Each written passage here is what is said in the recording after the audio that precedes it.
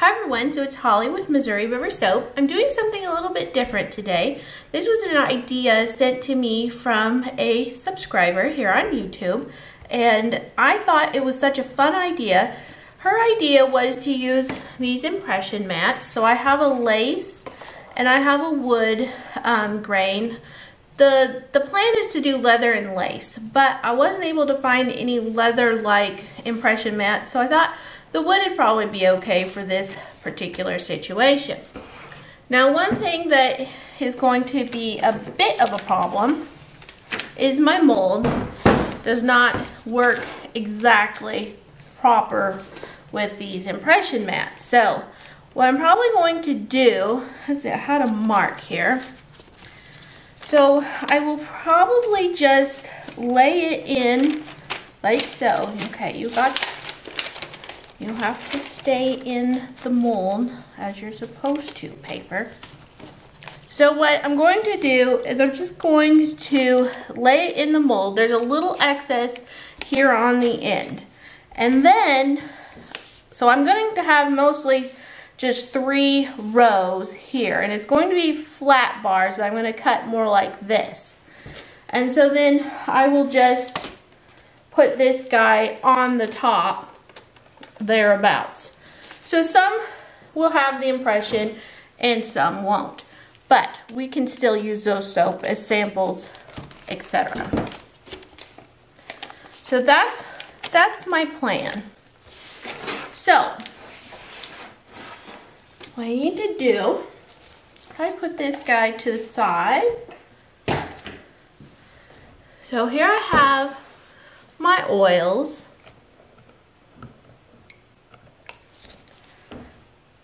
And the next thing I'm going to do is start the batch. So the first thing I want to do is add in the coconut milk and get it blended in. I just like to get the coconut milk blended well into the oils just on the off chance that there's any sort of, um, you know, little bits, bits and bumps in the coconut milk.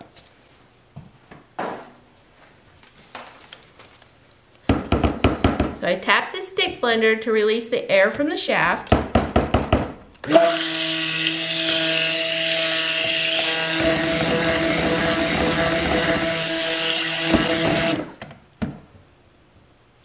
I'm going to add in the lye solution. Everything is at room temperature. It's going to be pretty full. I'm going to be splitting it off quite quickly.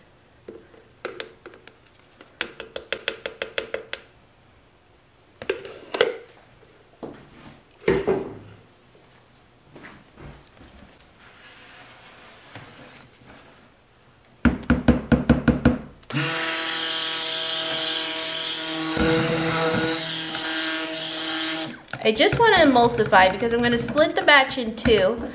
And in hindsight, I probably should have just done two separate batches, but I only prepped the one.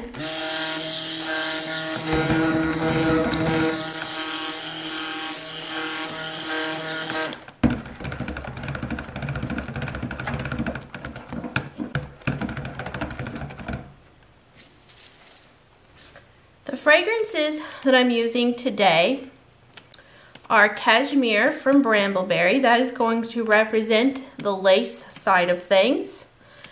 And Wild West from Indigo will be my leathery type fragrance.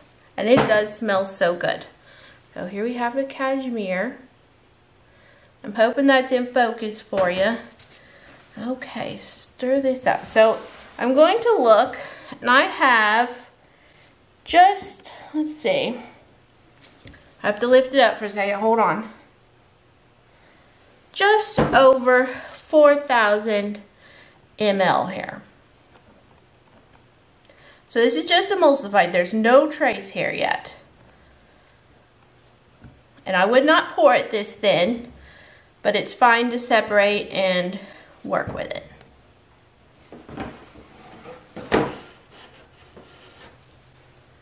So I'm going to pour to 2000 ml.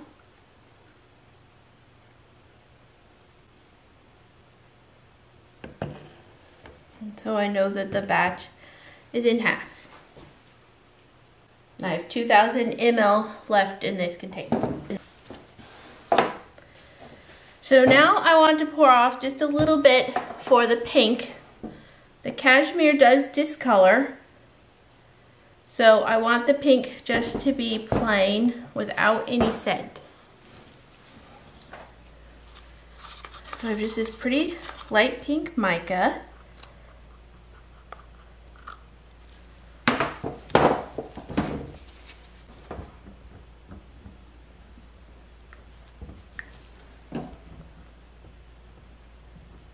Isn't that gorgeous? I love it.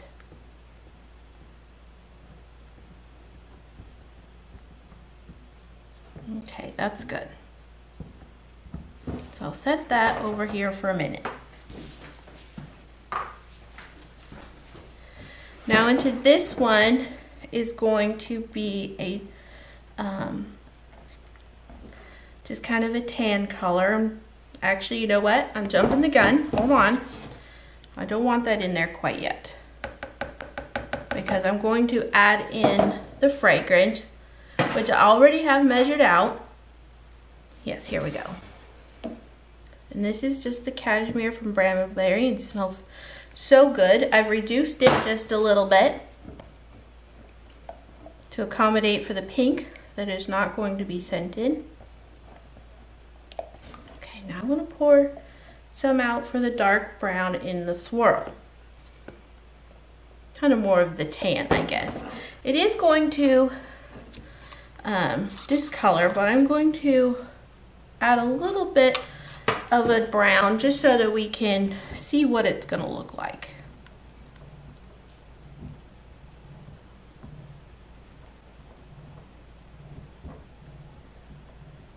Okay, that looks good.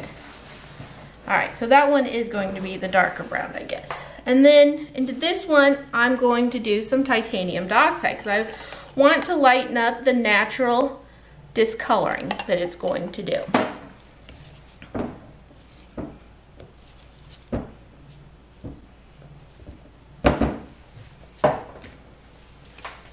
It's a bit of a blend.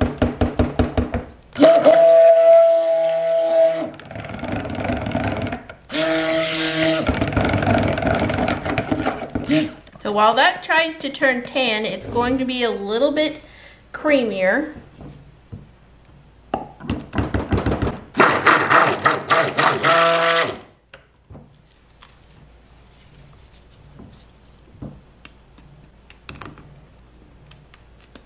That's kind of messy.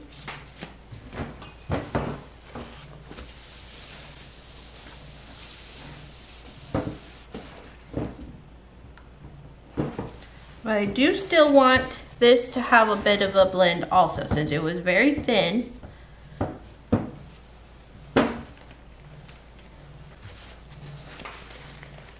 Wipe off some of that excess brown. In fact, I think I'm just gonna get some water here. Hold on. I usually have some water here, but I didn't today.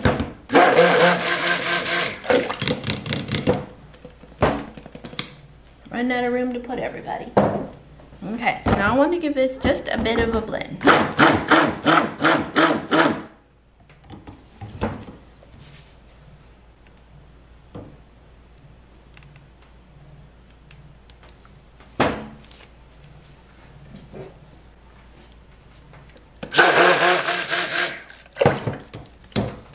want to clean that off before I move on to the next half of the batch.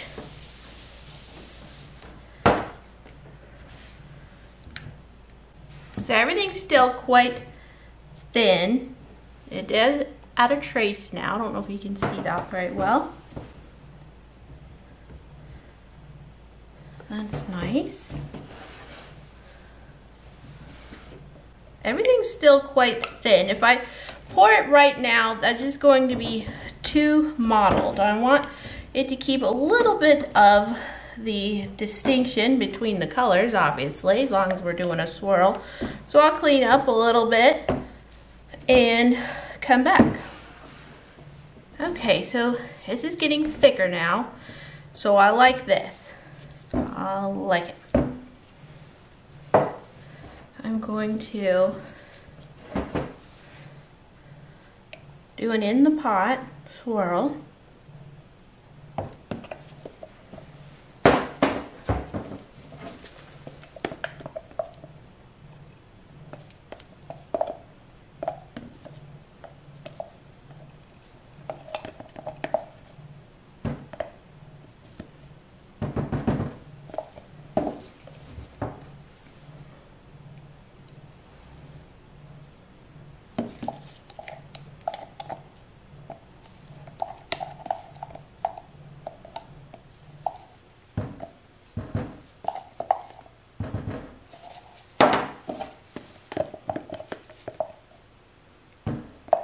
That's so pretty. I've always loved pink and brown together.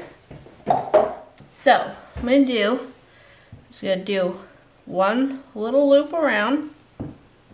I don't want it over mixed. So in with the mold, this is to be a little bit, you know, off, but we're to roll with it.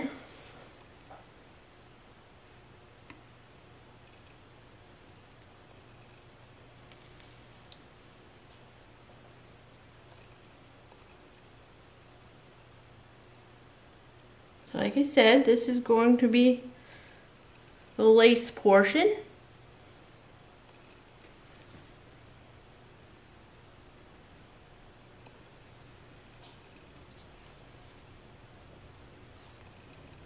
This is just a test batch, and if we like how this turns out, I'll either buy more impression mats or I will have a different mold built so we can get it just so.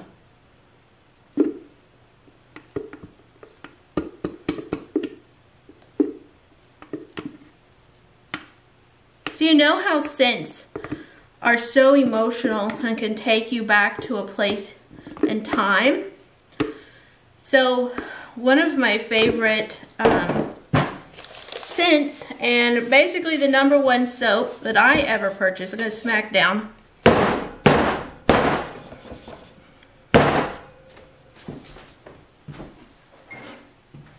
while I talk, I'm going to do a cocoa line. So I'm trying to do this where my right hand can work.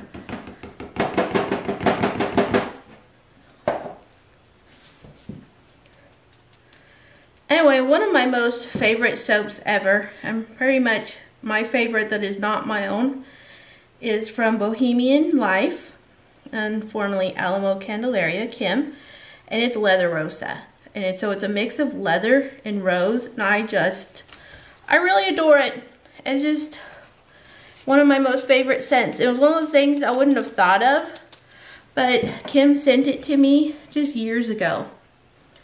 And oh it was so good. So if you ever have the opportunity to buy that I highly recommend it.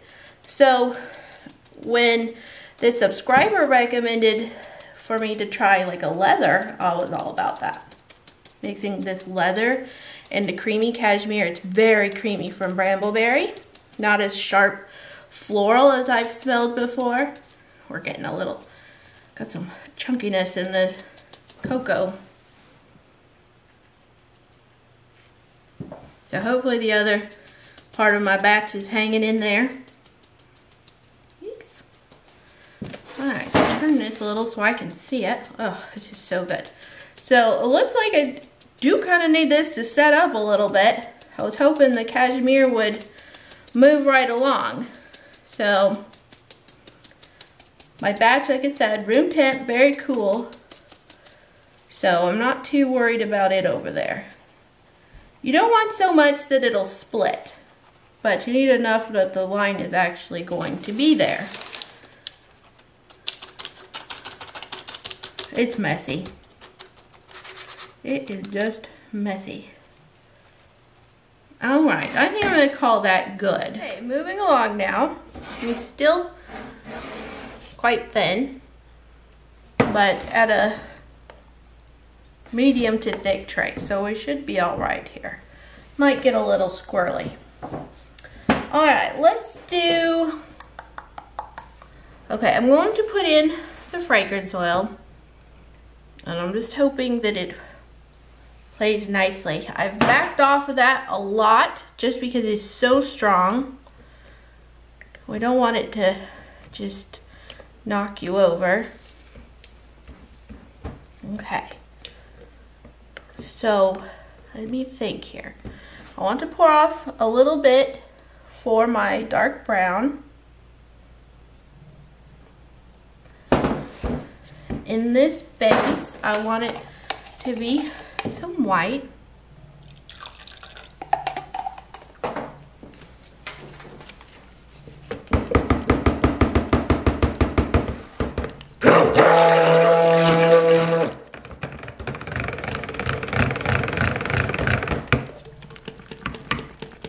Okay, that's good.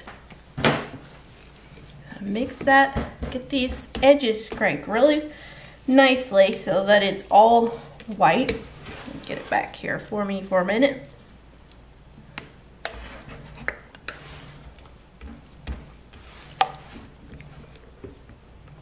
Nice. Into this one, gonna pour some out for, let's see, a tan. Yeah, do a tan in this one. So I'm using the same color. I don't remember if this one, uh, the leather discolors or not. So I'm just going to put in a little bit here for a tan, a little bit more here for a darker brown.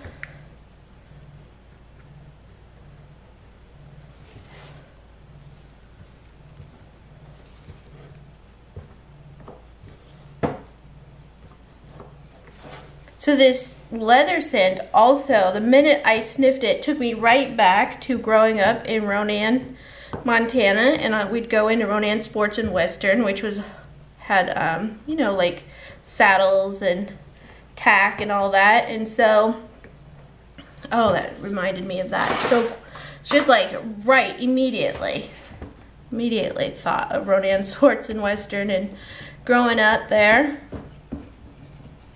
Love that leather smell. Mm, this is such a pretty color. It's so creamy. All right, we better get this show on the road. So, here we go. I have a mess. Oh my. I'm just gonna roll with it for now. So here we go with the the lighter brown.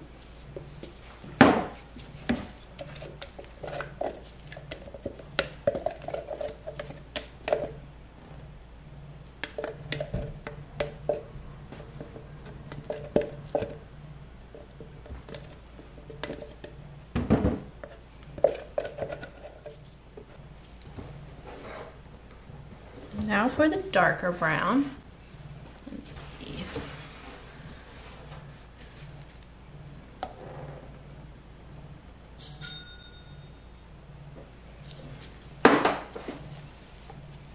I am thankful for that order. It just came in. That's how I can keep doing videos. It's by getting orders and selling the goodies that I make. So thank you. Appreciate it.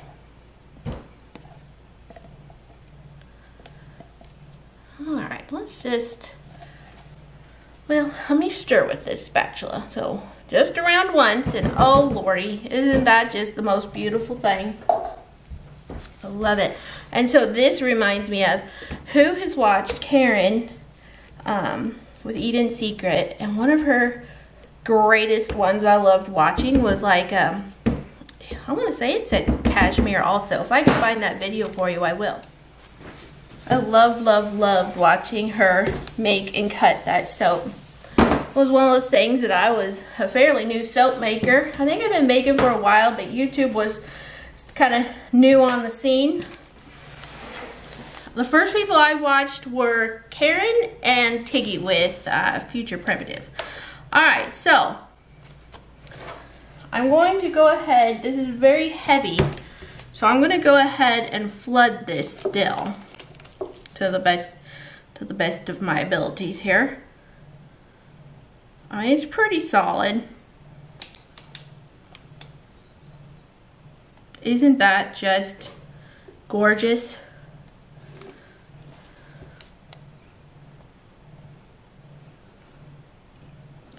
So this flooding, it just keeps the pressure off. I'm kind of getting out of control here. Um, it keeps the pressure from the pour off of the soap and so it doesn't just pour right in, it just kind of streams on as you could probably tell. I guess I'll go ahead and do it like so.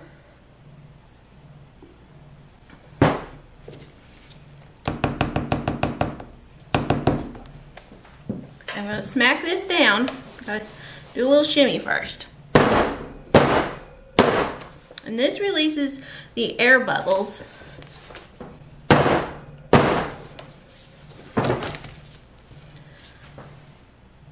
So I need to stir this down. You're very careful scraping when you're um, working with an in the pot swirl. You can usually keep the, the definition pretty nicely. And then just kind of push it out.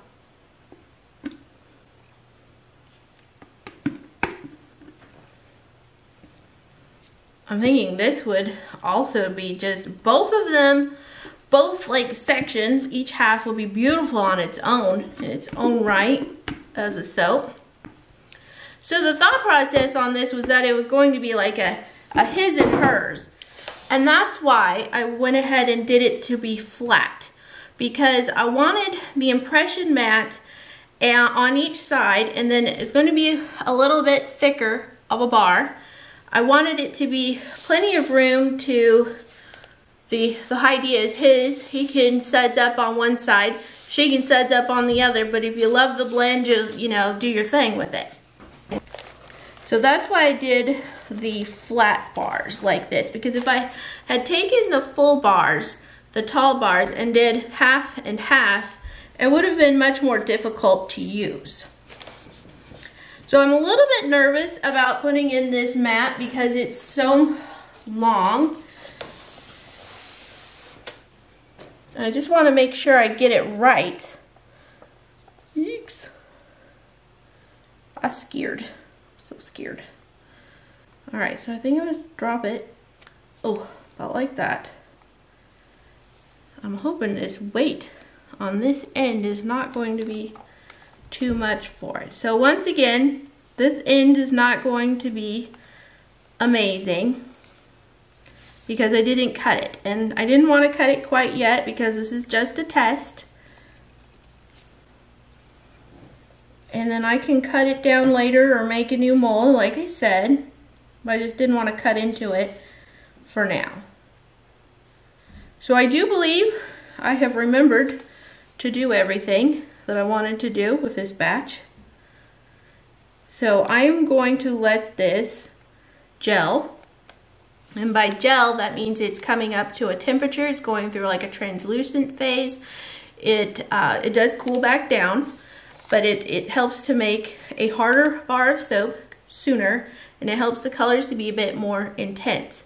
An ungelled soap is still going to do the exact same thing. It's just going to um, take a little bit longer to get harder and the colors will be a bit more pastel.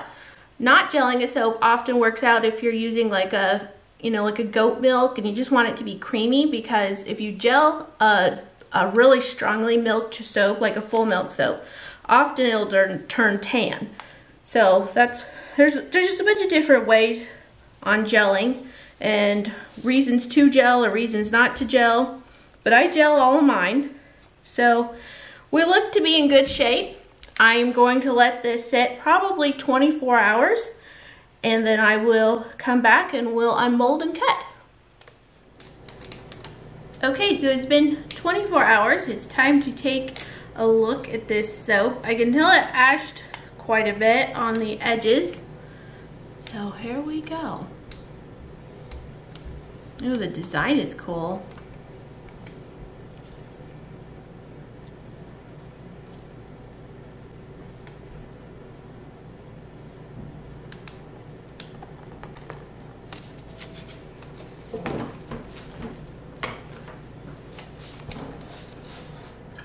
So here we have the design. I see a little bit of air pockets and such, which is gonna be pretty normal for something on the top.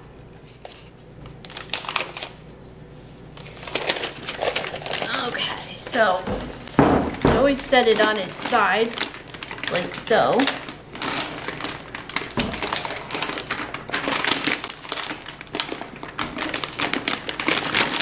There's a long ways to go to pull out of there.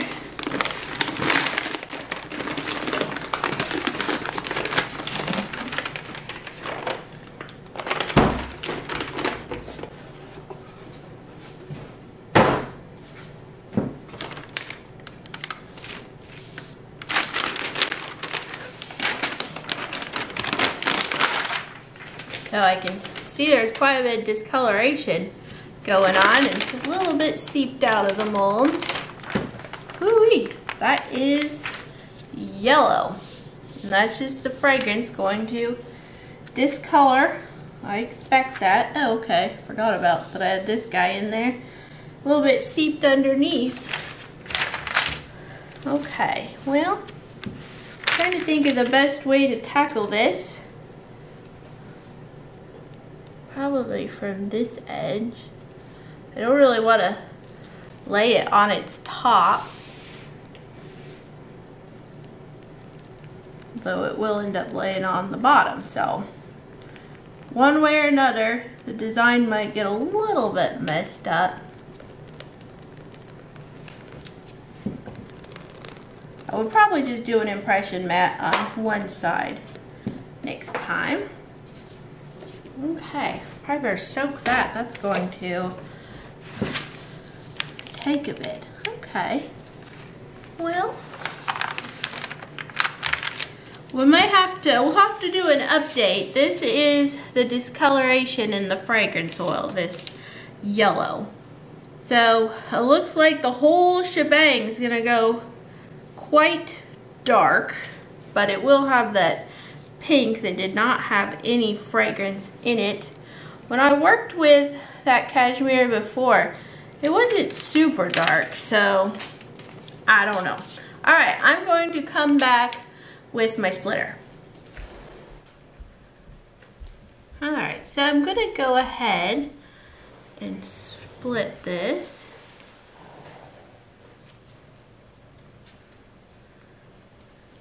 That looks neat. Of course, keep in mind this will be a darker tan. So these are going to be some hefty bars. This is a little soft still. I probably should have unmolded and waited a bit because I can't actually um, plane off these edges because they have the design. So, hmm. I'm tempted just to keep going so it's done. But I'll just try to be careful.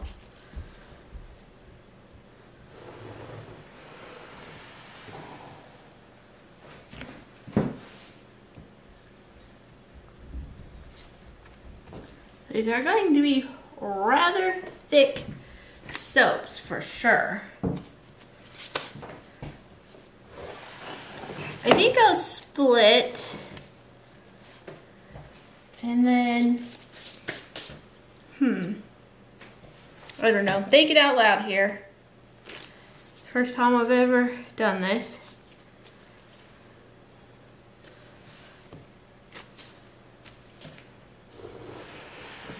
Probably could have cut that just a smidgen closer to the next go round.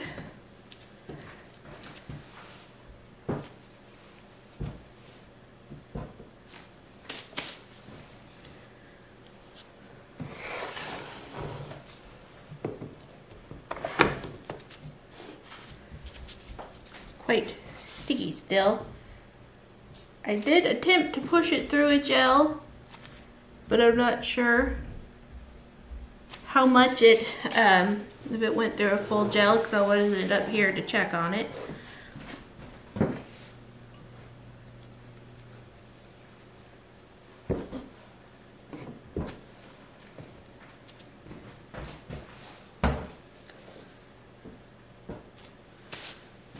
Okay, so then I'll have this section here and it does have mostly the wood grain on it so that I could um, trim some samples So let me think here. My splitter or my silk cutter will only let me go so far. So I think I want to cut the very end of this off.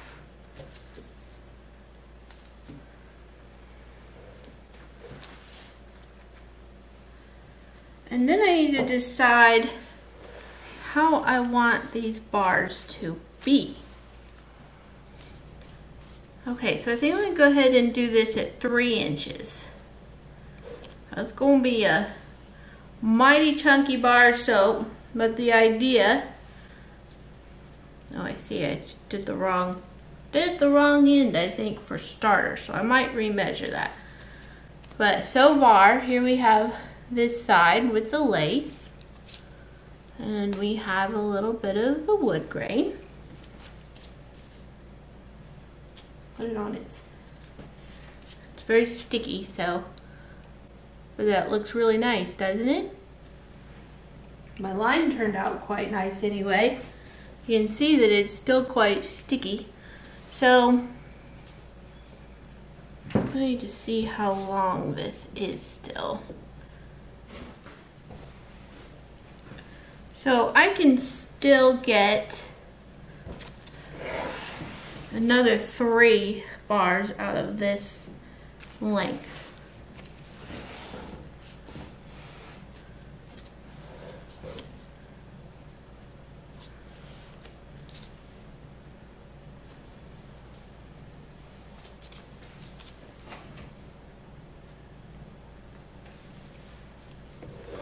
These are mighty chunky, but the whole idea is that you would have plenty to work with on each side for his and hers. So I do think that's going to be a-okay.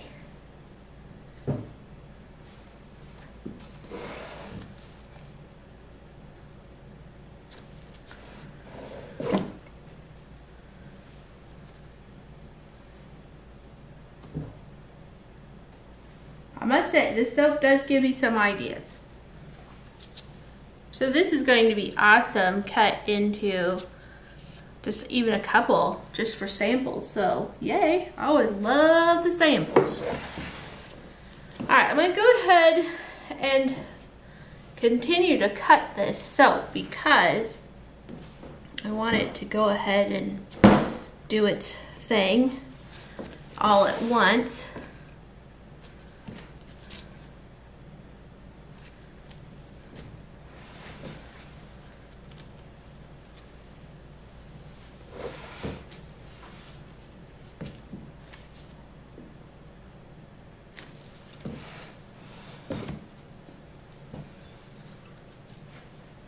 Looks like the grain that's on the bottom is doing okay. It's not getting smushed or anything.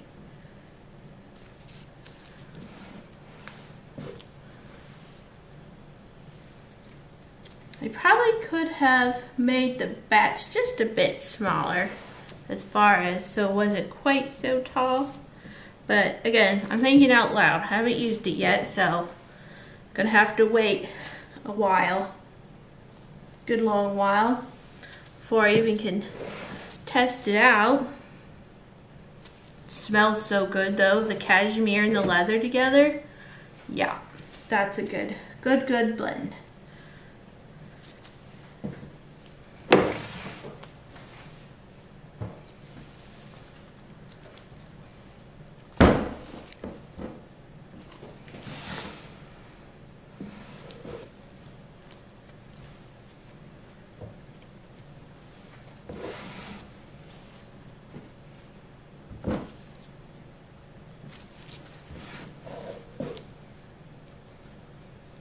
It's just so pretty. I just, I love the swirls. You gotta have the imagination. It's going to change.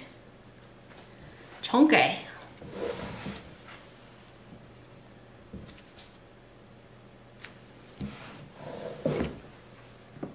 I wish the cashmere didn't turn quite as much as it did. I wished it was a little bit more like the uh, this side, which I'm looking here. Looks like I have a little bit of crackling from the titanium dioxide. So that pretty much tells me that yes, it did go ahead and gel.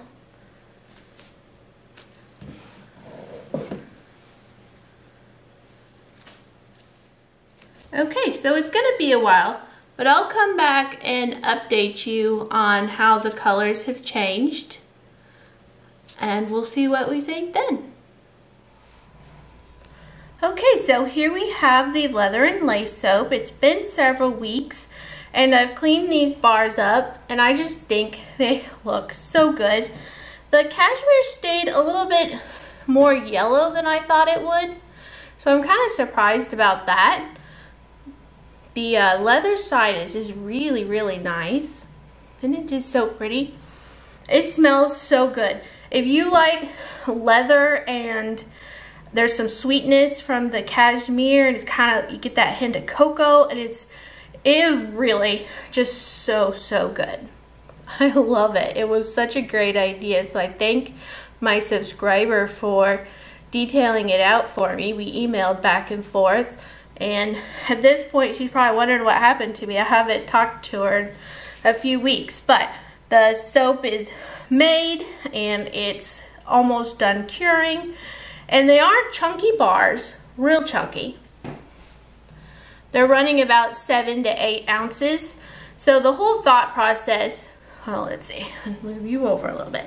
So the whole thought process was you have one big hunk in your bath and the dude, be likes leather, he could soap up with the leather side. And if the lady wants to soap up with the cashmere, she can do that. And if either one of them just wants to roll it all around because they love the scents, because that's totally what I do. I'm sure my husband would as well. Then that's what they can do. Isn't it just such a fun idea? And I just love this. Look at that. Oh my goodness. I love this color. I'm totally going to make a soap like that. Hopefully you're in focus. But anyway, I could go on and on. I just think it turned out so great. And it was such a fun project to work on. This is my new favorite cake stand picture taking thingamajigger. And anyway, it just turned out so good. I just love them all and I definitely foresee myself making this again. In this style, it'd be really fun if the fragrance um, was more white with just the pink swirl, or this could be just done like a blue swirl and a pink swirl. Wouldn't that make a fun, like a baby shower type soap if maybe they weren't finding out what they were having? You could do like a pink swirl and a blue swirl or something like that. That would be neat too. So anyway, here is the soap. And I'm going to make some other soap. I'm all prepped here. And I will talk to you guys later.